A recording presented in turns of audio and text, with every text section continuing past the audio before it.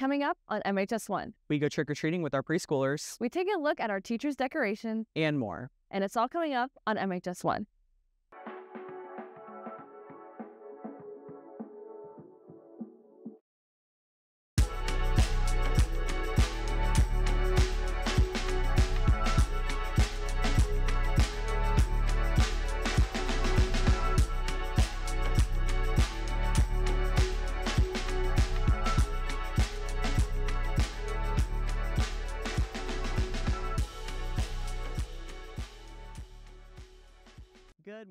High School. Today is Friday, November 3rd. I'm Aiden Lewis. And I'm Morgan Wasserman, and you're watching MHS1. In this past week, McKinney High School's daycare for children of teachers and staff had the opportunity to go trick or treating from classroom to classroom. They got to see and walk the halls of McKinney High School. Emma Johansson, Lillian Kaiser, Chase Barrett, and Sophia Quintero bring us more. Every year, the Ready Set Teach program takes the daycare trick or treating around our campus. Teachers signed up to share the spooky spirit and have trick or treat pumpkin signs posted by their doors.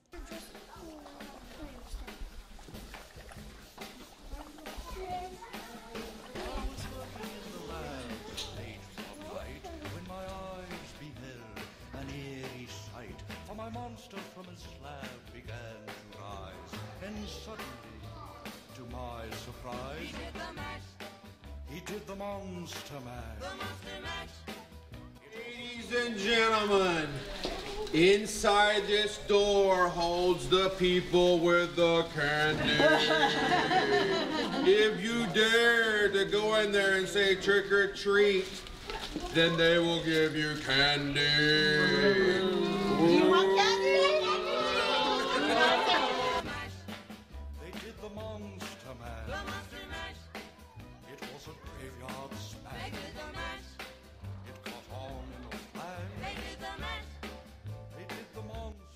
This has been Lillian Kaiser, Sophia Quintero, Emma Johansson, and Chase Barrett reporting for MHS1.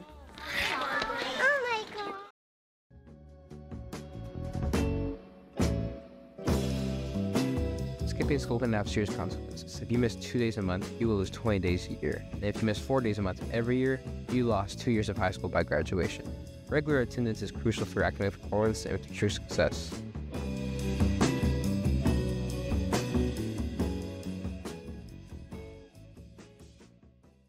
Now here's Fine Arts in the Field with Reagan Reeves. Hello, McKinney High School. Welcome to Fine Arts in the Field. Pasek McKinney Percussion Send-Off Concert is on November 4th at 7.30 in the McKinney Boyd High School Auditorium. McKinney High School Performing Arts presents Mean Girls High School version November 9th, 10th, and 11th at 7 p.m. Today, we go behind the scenes to see what really goes on during rehearsal.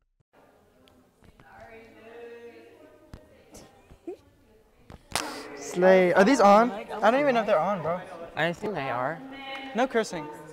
I, would don't. never curse in my entire life. I've I'm. actually- Oh, I'm so mean. Ooh.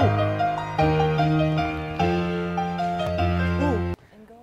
These flops, these two flops right here. They Hey. were like, oh, let's get matching watches. No, no, I, Ashton, Ashton. And they don't wear them Ashton, anymore. No, Ashton, Ashton, Ashton. No. Wow. Yo, how did it you're look? Did you- were you watching? good. Okay, so some of y'all I look need really water. scary. Y'all look like you're trying to be creepy. When you're all around the table. Are we supposed to move up to her?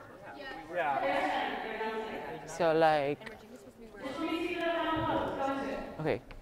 We're like we're like meant to be like here. Where? What?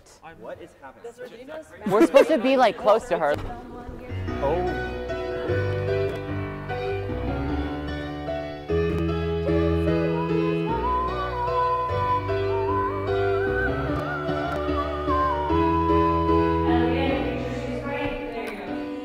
Um, the jacket. Oh, we're good? Right. Come with me, Come on, girls! Mean Girls! Yeah! Woo! Thank you, Lions. Now back to you at the desk. Thanks, Reagan. Now here's Charlie Taylor with our news brief. Take it away. Hi, I'm Charlie Taylor. This is your MHS1 News Brief. Currently, there's a critical election going on in Collin County. A $683 million bond is up for voting, including five propositions. Some of those projects include a court and detention facility project, as well as an animal shelter facility project. Election day is November 7th, 2023. You can visit the Manestream website to find out how you can register to vote, as well as where you can vote. Additionally, in a recent announcement, McKinney ISD and Durham School Services are teaming up to create Bus Zone, a bus tracking app for parents. This app allows parents to track their student's bus during pickup and drop off. For details, visit the McKinney ISD website or download the app with the QR code on the screen. And that's all for your news brief this week. Back to you guys at the desk. Thanks, Charlie. McKinney High School is home to many programs that students don't know about, one of which is our English Second Language, or ESL. Ella McClure, Annalie Biggs, and Isabella Garcia take a deeper look into this program. English as a second language educates people whose first language isn't English. They instruct students on reading, writing, and speaking. Hi, my name is Mr. Crawford. My name is Ms. Benwick. My name is Maximino Perez. I'm Coach Svedvik. So, we'll stop. Raimundo, I work with kids who whose parents' language is different from yours, and so that's why I teach them English. I'm not a Spanish teacher, I'm an English teacher. And I also am fortunate enough to work with the uh, newcomer students, which are students who come from uh, other countries and they're recently uh, immigrants into the United States, and, and it's a lot of fun to work with them. The thing I love most is that they bring a lot of different culture and experiences, and they're usually like the sweetest kids ever. So I like getting to know the kids. Um, they come from all over the world, and so I enjoy getting to know them and also being a part of helping them learn English for the first time. This has been Anna Lee Biggs, Isabella Garcia, and Ella McClure reporting for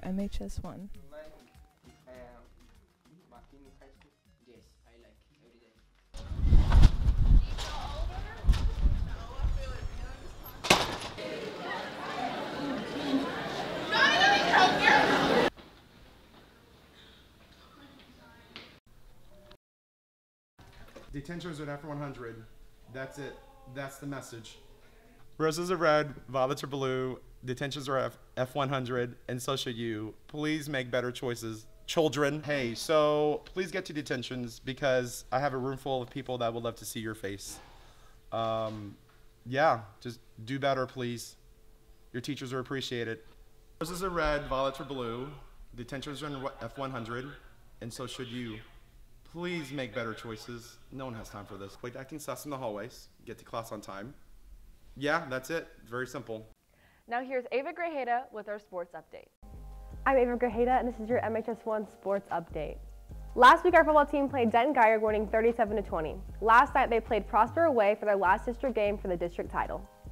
Next, our girls volleyball team made playoffs, but unfortunately lost first round of Flower Mound. Wednesday, our boys golf team placed first in their tournament at the Tour 18 golf course. October 24th, our girls played second against Boyd and Allen. The entire swim team will compete on November 10th and 11th for their dual meet championship. That's all for our sports update. Back to you guys at the desk. Hey Aiden, don't you just love the way some teachers decorate their classrooms? It makes learning so much more fun. I love how it creates such a homey atmosphere. And to take us inside those teachers' classrooms is Kate Britt and Angeline Briner.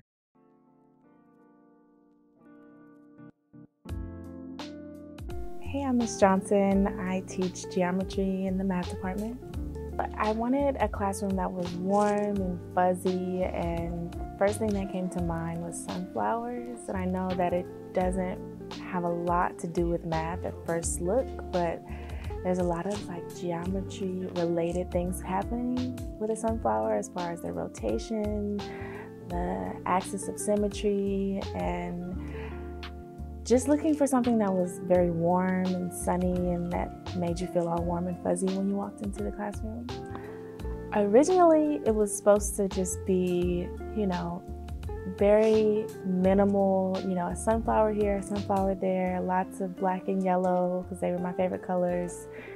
And then over time, it grew into this like obsession of I have Lego sunflowers and, you know, a sunflower dream catcher and my Christmas tree is decorated with sunflowers.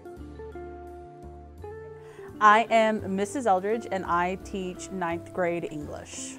My classroom was inspired by my office at home. So at home, I have a really comfortable space. I wanted to make my space really comfortable as well because I'm here most of the time. And I figured if it makes me comfortable, it'll make my students comfortable too. Originally, when I wanted to decorate my classroom, I wanted big tables so that everybody could kind of be near each other. I wanted to have way more than just one couch. I wanted to like have as many as I could for students to sit in. I wanted bean bags and stuffed animals and pillows and blankets everywhere. Basically, I wanted to make it kind of like a little reading den, but unfortunately is a very small space and there's a lot of desks that need to fit, so. The vibe was just kind of, I wanted it to be almost an open space. That's why I picked stars mostly because you know there's limitless possibilities whenever you look up. So I kind of wanted to emulate that with my room. It was just this big, open, wonderful space where anything could happen. I'm Mr. McGowan, and this is my classroom.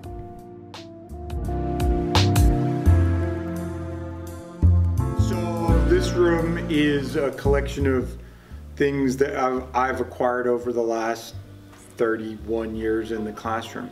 Things that students have given me, things that I've found, things that have been left here. Um, and some of the things I've just collected myself that were, you know, interesting. Like up there is Sam Norris's varsity swim trunks from, I don't know, seven years ago. Um, the I've got a, a, painting there that a student made of me.